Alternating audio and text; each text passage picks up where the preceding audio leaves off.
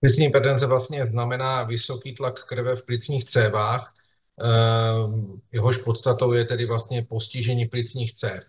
U člověka je v plicích, je v plicích nejenom vzduch, ale také krev, která je v plicních cévách a u plicní hypertenze je tlak krve v plicních cévách zvýšený. U systémové sklerodermie ta příčina může být různorodá. Příčinou může být postižení plicních sklípků, které sekundárně může vést ke zvýšení tlaku v plicních cévách. To je situace, která je u sklerodermie poměrně častá. Řada pacientů má určitý stupeň plicní fibrózy. Další příčinou může být onemocnění srdeční svaloviny a toto onemocnění srdeční svaloviny nebo postižení srdeční svaloviny se zpětně může přenášet do malého krevního oběhu a také vést ke zvýšení krevního tlaku v plicních cévách. No a konečně u sklerodermie může být přítomná plicní arteriální hypertenze, což je relativně vzácná příčina plicní hypertenze, která je způsobena primárním postižením malých plicních cév, které jsou postiženy v tom smyslu, že ze začátku jsou dlouhodobě v křeči, říkáme tomu vazokonstrikce, a postupně se přestaví anatomie cévní stěny a důsledkem je zúžení průsvitu plicních cév a přes ty potom hůř protéká krev a důsledkem je opět plicní hypertenze. To je situace, která u systémové sklerodermie vzniká v příčinné souvislosti s tím základním revmatickým onemocněním. Představuje tu nejzávažnější příčinu plicní hypertenze a proto na ni soustředíme velkou pozornost jak v diagnostice, tak také v léčbě.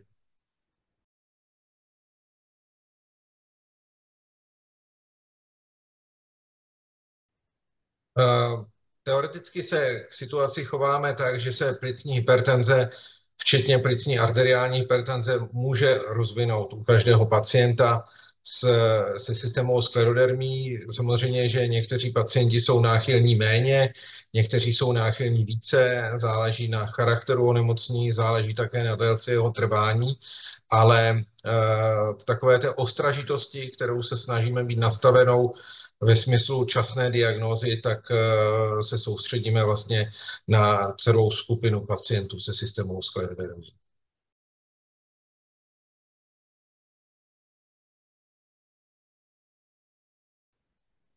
Samozřejmě, že základem je sledování u revmatologa, protože je to revmatologické onemocnění a revmatolog je vlastně nejpovolanější lékař, který je zodpovědný za vedení léčby celého tohoto systémového onemocnění, které může mít projevy v různých orgánových systémech. Ale samozřejmě, že pacienti se sklerodermií navštěvují také specialisty, kteří se specializují na ty jednotlivé orgánové systémy, kde může být sklerodermie manifestována. A v té naší oblasti jsou to tedy plicní cévy, případně onemocnění srdce při systémové sklerodermii. A to je tedy v oblasti kardiologie a sledování u kardiologa, pokud nejsou jiné obtíže, by mělo být alespoň v intervalu jednou za rok, kdy by měl mít pacient se systémovou sklerodermií mimo jiné také echokardiografii, která je takovým klíčovým screeningovým vyšetřením, které slouží ke včasnému odhalování také plicní hypertenze.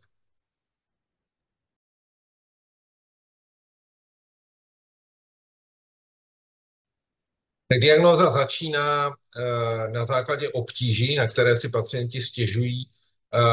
Ty obtíže jsou nespecifické. Je to dušnost, nevýkonnost, únavnost a to jsou projevy, které se mohou spojit i s jinými onemocněními nebo s jinými klinickými stavy. Proto ta diagnostika nebo vlastně ten prvopočátek diagnostiky není vždycky úplně jednoduchý, protože se za těmito velmi nespecifickými projevy často hledají častější příčiny, jako je třeba chudokrevnost nebo astma nebo srdeční selhání. Když se vyloučí ty časné příčiny, tak je potřeba myslet i na ty příčiny vzácnější a tam plicní hypertenze patřit může. Když přemýšlíme nad tím, že za obtížemi pacienta může být plicní hypertenze, tak tím prvním vyšetřením je echokardiografie, což jsem už zmiňoval, která je neinvazivním vyšetřením, které je dobře dostupné, snadno opakovatelné a velmi výtěžné, protože dokáže plicní hypertenzi detekovat, dokáže ji také vyloučit, dokáže také říct, jak je plicní hypertenze těžká a jestli její příčina není v oblasti postižení svaloviny levého srdce. To jsou velmi důležité body, které nás potom nasměřují v těch dalších krocích. K diagnostice potřebujeme také vědět, nakolik jsou postiženy plicní sklípky při sklerodermii, protože na základě toho potom dokážeme říct, jestli plicní hypertenze je spíše primárně při postižení plicních cév, anebo případně při onemocnění plicních sklípků. Takže k tomu slouží klasická pneumologická vyšetření, jako je vyšetření plicních funkcí, CT s vysokou rozlišovací schopností a také vyšetření krevních plynů. No a konečně tím definitivním vyšetřením, když máme závažné podezření na možnou příčinu přítomnost plicní hypertenze, tak je katetrizace, což je invazivní vyšetření, kdy se tenkými ohebnými hadičkami, které se zavádějí buď z tříselné žíly, anebo z krční žíly, velmi přesně změří tlaky a průtoky v jednotlivých částech plicního objemu, oběhu a v jednotlivých srdečních dutinách. A dokážeme potom přesným způsobem popsat ten stav krevního oběhu a podle toho říci, zda je plicní hypertenze přítomná, jakého je typu a jak je těžká.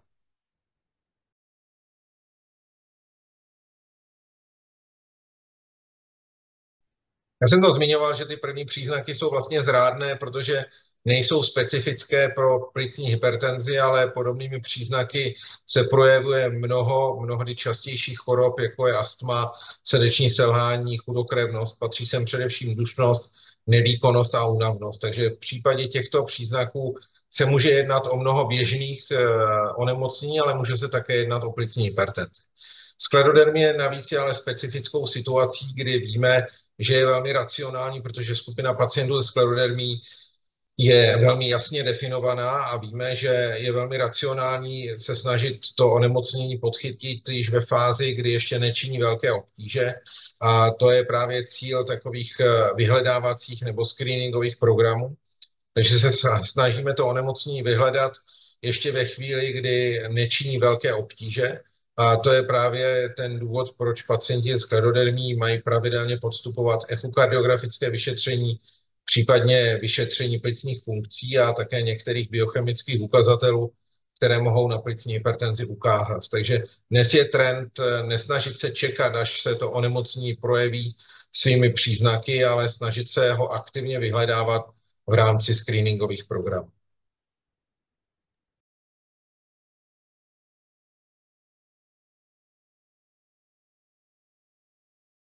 Tak to by měl být popud k tomu, aby ty obtíže byly vyšetřeny. Pokud jde o pacienta, který nemá revmatologické onemocnění, tak tím prvním kontaktním bodem, kde by se měl pacient obrátit s těmito obtížemi, je jeho praktický lékař, který má samozřejmě rutinní zkušenost s vyšetřováním obtíží typu dušnosti, nevýkonnosti a únavnosti. Ale samozřejmě, že revmatologičtí pacienti navštěvují pravidelně svého revmatologa, takže jestli se něco mění v obtížích pacienta mezi jednotlivými kontrolami, tak je samozřejmě velmi racionální ten problém také sdílet s ošetřujícím revmatologem.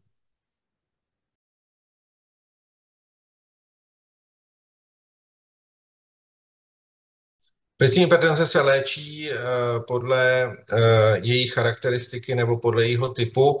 Jestliže se jedná o ty běžné typy plicní hypertenze, jako je plicní onemocnění anebo srdeční onemocnění, které vede k plicní hypertenzi, tak tam v některých situacích pomáhá léčba toho vyvolávajícího faktoru nebo vyvolávající příčiny. A pokud se jedná o primární postižení plic, plicních cév, což u pacientů se sklerodermií je typicky plicní arteriální hypertenze, tam dneska máme k dispozici řadu léků z několika lékových skupin, které vedou jednak k tomu, že plicní cévy, které jsou u této situace v dlouhodobé křeči neboli vazokonstrikci, tak při léčbě se rozšiřují a tím se zlepšuje průtok krve přes plicní cévy.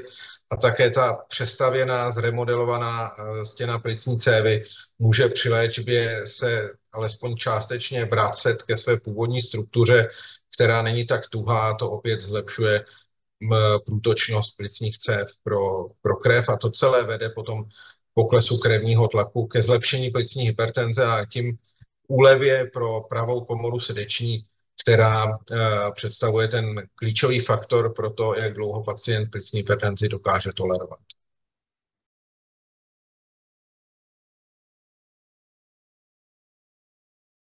Z hlediska plicní hypertenze u pacientů se systémovou sklerodémií je asi nejdůležitější vědomí o tom, že plicní hypertenze představuje jednu z nejzávažnějších orgánových manifestací tohoto revmatologického onemocnění. Samozřejmě, že revmatologové jsou nesmírně pečliví a, a všechny tyto detaily znají. Stejně tak to ví pneumologové, ví to také praktičtí lékaři, ale občas se třeba stane, že jeden se spolehne na druhého a druhý se spolehne na třetího.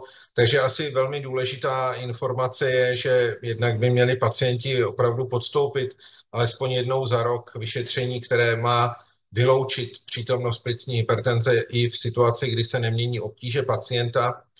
A v situaci, kdy se objeví nově příznaky, které mohou souviset s plicní hypertenzí, ale mohou mít příčinu také jinou, jako je ta zmíněná dušnost, nevýkonnost a únavnost, tak to je situace, kdy bychom měli, kdyby měli pacienti se s těmito nově vzniknuvšími nebo zhoršenými obtížemi obrátit jak na svého revmatologa, tak také praktického lékaře.